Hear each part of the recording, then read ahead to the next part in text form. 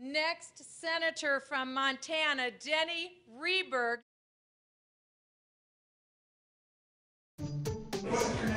I am land rich and cash poor. So you can go to college on Pell Grants, and maybe I should not be telling anybody this because uh, uh, it's turning out to be the welfare of the 21st century. You can And it all boils down to taxation, regulation, and litigation. And they know I'm not afraid to meet Montanans face to face.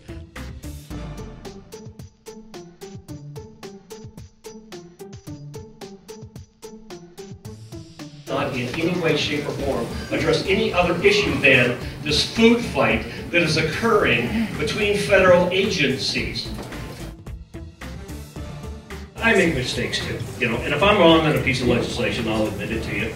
And I really wish I hadn't voted for the Patriot Act. However, If anybody knows of any examples within Patriot Act where it's been abused, let me know. Nobody's ever been able to come up with one, but I, I continue to ask the question. I am serious about it. Uh, President Bachmann, where are you? Huh? Uh, that sounds all right, doesn't it? That sounds okay.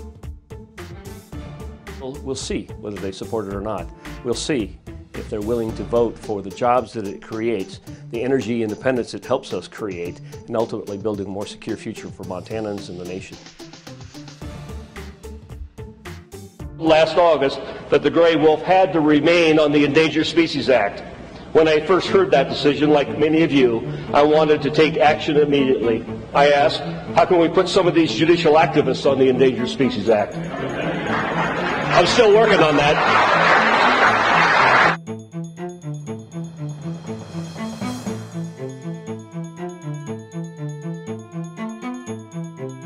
Never fall for either a political promise or to believe that something is ever permanent in our form of government.